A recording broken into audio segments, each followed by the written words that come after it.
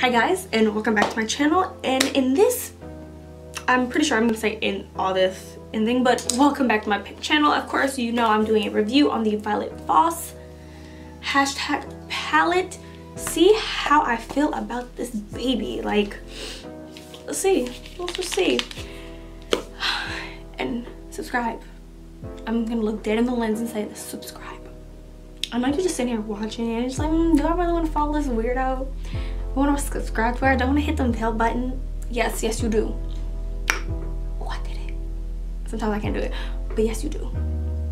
Cause you know we, we sometimes we lit and kind of awkward, but it's okay. Uh, mini little tutorial on this too, but um.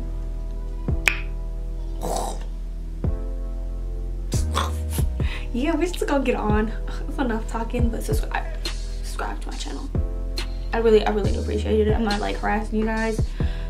I can't even tell if you guys subscribe or not. I'm not gonna, I'm not gonna leave all that information, but you can heard it. But subscribe.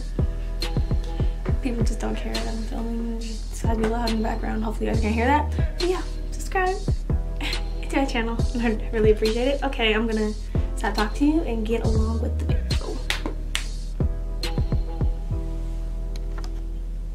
there we go. Okay. Hi guys and welcome back to my channel. If you're new welcome. I know i need something new to say in the beginning because it's getting a little boring and tired but okay well so gonna get on with it. So as you can read by the title this is a review of the Violet Voss Pro palette, the hashtag one. Now this is actually my first Violet Voss palette, so I actually, so actually gonna kind of be like a first impressions too, because I don't know how they perform, I don't know how they swatch, I didn't even swatch it.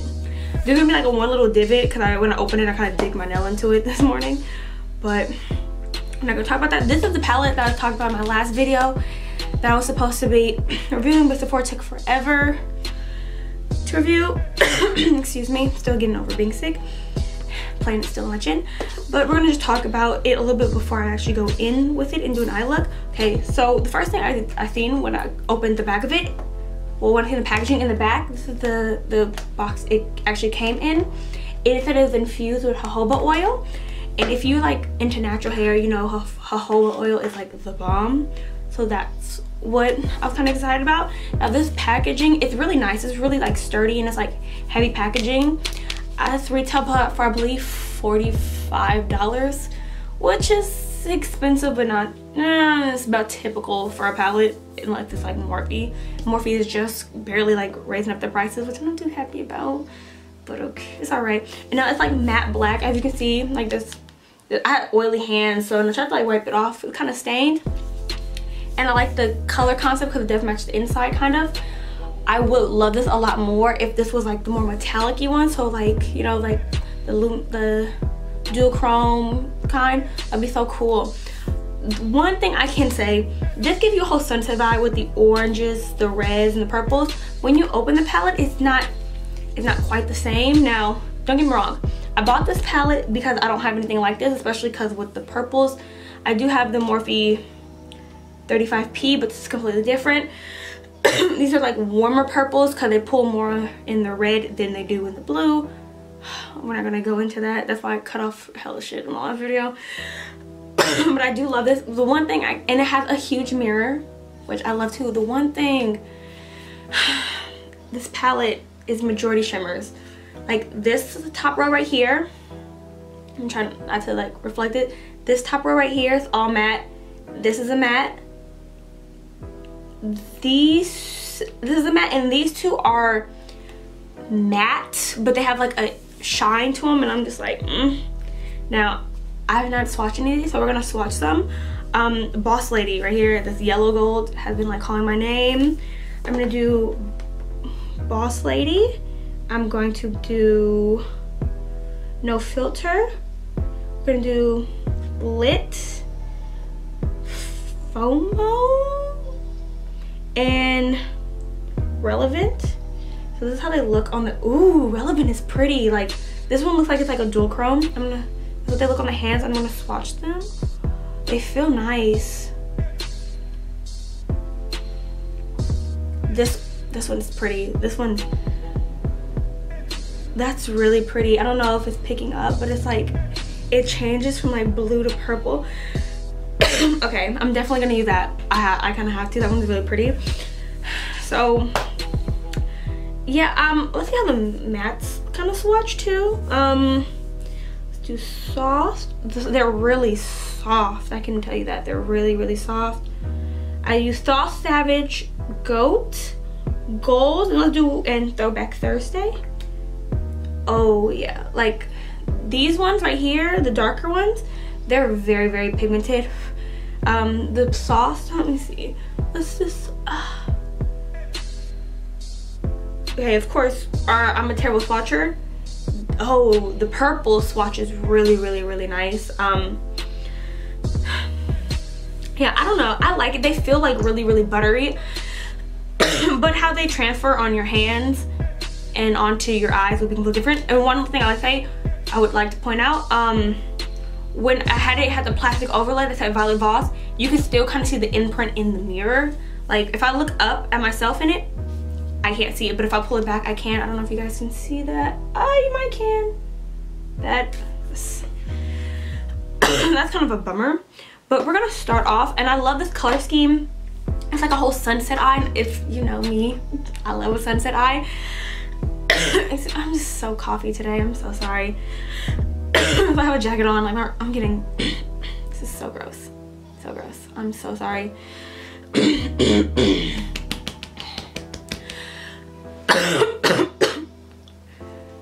Fast forward those coughs. I'm sorry. Hopefully, if I remember. Um, I do wish it pulled more like reds in there and more like darker oranges other than Goals, which is the darkest orange in here. So we're just gonna go on and just start off with an eye look. I don't know what I'm gonna do. I'm just gonna wing it. I'm gonna say the names as I go along and have a picture in the screen like I usually do. So we're gonna start off. I'm just gonna go just go in. I'm gonna start off with Savage, which is the lightest orange in the palette.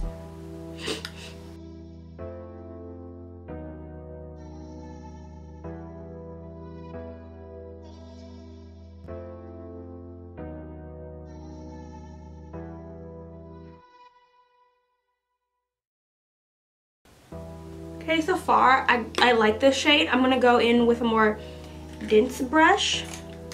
Am I gonna use this brush? No, Um, can't find my damn brush.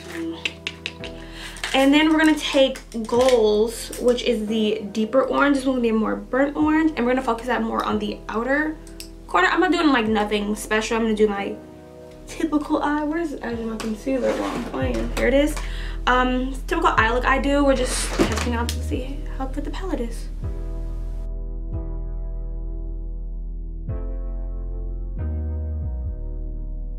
Now this color, this is, okay, I'm gonna guys let you know.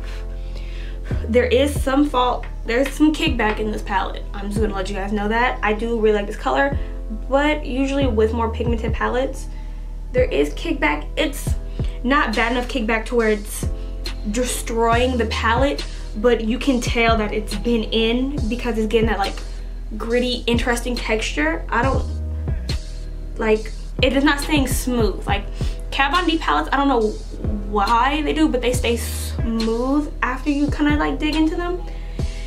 This one, excuse me, oh, so, sorry. This one, um, again, that like gritty thing that like Morphe palettes do. Now they're still pigmented, it's still nice, but it it didn't do that with Savage is doing it with gold, so it might be the darker colors that to do that.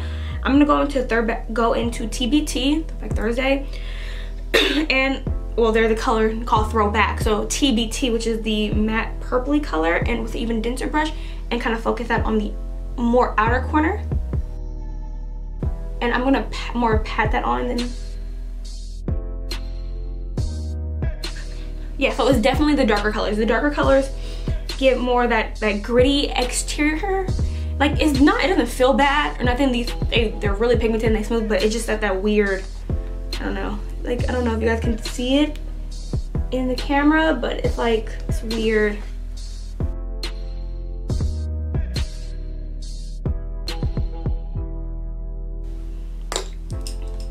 I'm gonna go back in with Goals a little bit because I don't want um throwback really in the crease. I want it more on the outer area.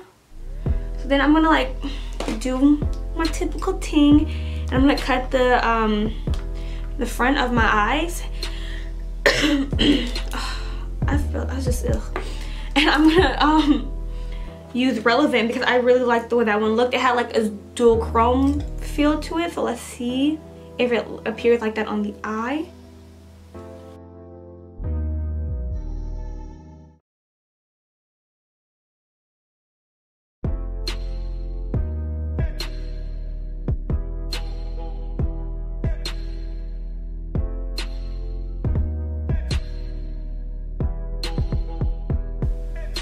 Color. Okay. This is probably, this is so pretty. Like, it's like this like interesting like bluey purple kind of, this is a really pretty color. Like, this is really pretty.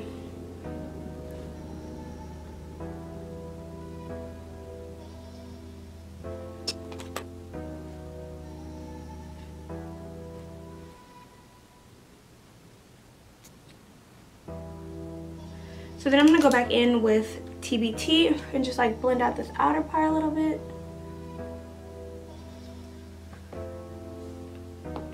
I like this. This is, I like this. This, that dual chrome, whatever it is, is just selling it for me.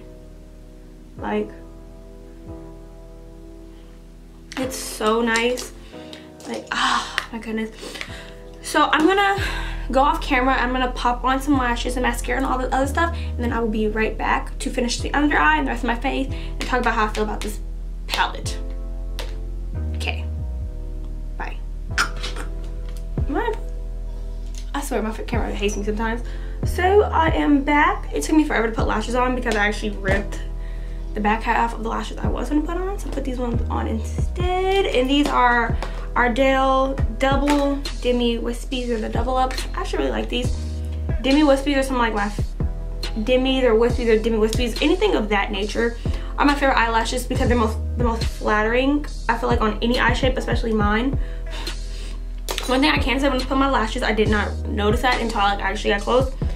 The glitter, I have a lot of like kickback all over my face.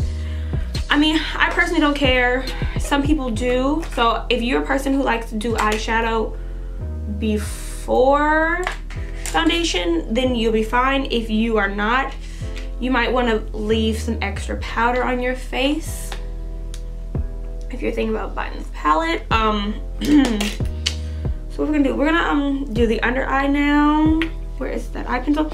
So I'm gonna use actually a white eye pencil because I feel like this is gonna be a little more opening to my eye.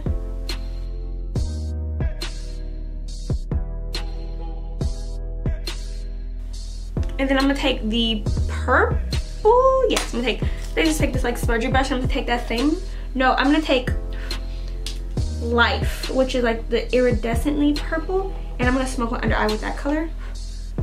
Get as close to the little last one as I can and I'm gonna just do it on the outer part. And on the inner part, I'm just gonna take another brush that's similar to shape of that one, and I'm going to take, let's do FOMO, which is like the orangey one. that's really pretty, and I'm just gonna throw on some bottom mascara.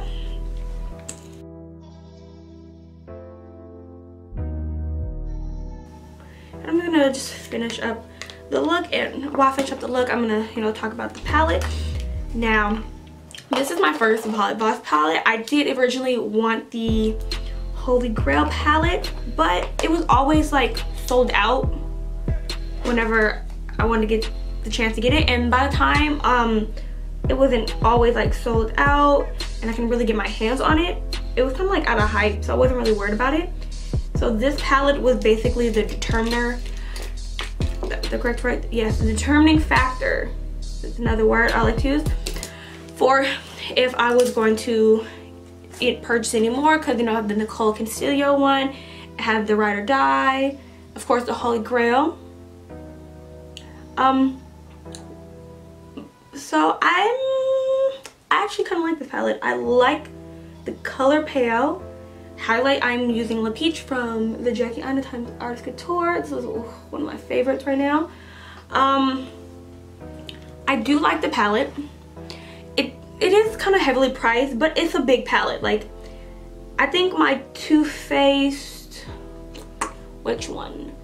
The Peach palette, the Peaches and Cream, I think that's what it is. That one was just as much, if not more, and that one's a smaller palette. I do really like that palette, but this one is bigger. You do get a mirror. I do like the shimmers in it. Even though I'm not a big shimmer person, the mattes that I did use, they're very pigmented. Like they're very, very pigmented. So I'm not necessarily mad at the palette. Um, and I feel like $45 isn't that bad. Honestly, I've had palettes be more and be smaller than this palette. So can't really, I wouldn't complain about it. I, this is actually a palette I probably would use on an everyday basis if I did my makeup every day, which I don't if you actually see me out in person. The one thing is it gets dirty. Oh no, never mind. It just, it picks up oil so quick. The glitters, once you like dig into them, they look like you dig into them. And the, and they have fallout, like crumble, they're like crumbly, like a glitter maybe. And it's like, it's not bad, but it's like, if you're not, if, oh God, can't talk and put a lip liner. Um, if you have a problem with that, like they're very soft. Like that's the thing, like they're pressed super softly.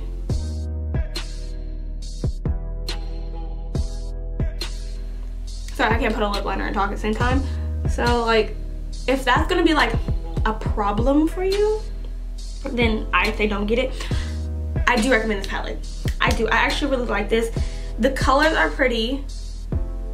They have good everyday, like if you're into warm colors, this is a very good palette for you. The browns are nice. Like you can honestly get like an everyday look out of fresh, soft, go and then maybe throw like some Truth or some Boss Lady or something on the lid. Something like that. Um,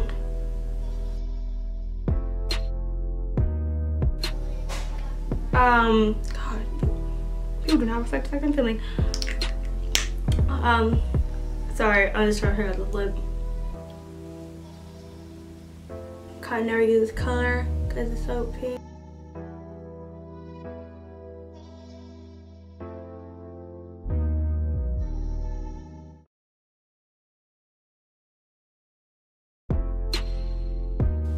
yeah, we'll we'll go with this. We'll just go with this. just wing it. Um, for lip liner, I used MAC's Mahogany. This is the MAC Patrick Starrr pencil. And for the lip, I used ColourPop times I Love Sari lip gloss in Curvy. Um, but I do recommend this palette. This is a nice palette. If you don't have $45 to spend on a palette, I say then don't buy it. But this, it's really pigmented. It has great color payoff I feel like you're you're you're getting your money's worth. Like it has the mattes get a little gritty, but a lot of good mattes to do. I know a lot of other palettes that mattes to do that. The shimmers, I don't know how they act. One thing I don't know, let me see. After you dig, usually after you dig into shimmers, they're not as like pigmented. No, when you pick, dig into them wet, they're not. So this one, the palette, I say don't go into your brush wet because I feel like it's gonna ruin the the metallics and the shiny ones and gonna get all crumbly and stuff. So I say don't do that. If you would like wetting your brush, this is not the palette for it. I feel like it's gonna ruin them. But other than that, yeah. I like it. I, I think it's worth the money. It's not the worst palette. Is it one of the best? I'm gonna, I still think my Kat Von D's are like the best. um, but this is probably one of the best expensive, more expensive high-end palettes that I did. There's a few in here, palettes in here that I just absolutely don't really like. And I'm just like, I use them, I use them a few times just to give them a chance. And I'm just like, wasn't worth the money. I will, if you guys want to see a products I regret buying video, I got some, so I could do one. But yeah, anyway, thanks for watching this video. Hopefully you thumbs up and subscribe. I do recommend this palette. If you can get your hands on it. If you can't, it's not gonna kill you. This is not, I feel like this is not one of the palettes where it's like, this one is saying like, oh my God, like you have to buy this, but it's really nice. So that's gonna conclude my video. Thank you guys for watching. And hopefully I'll see you soon.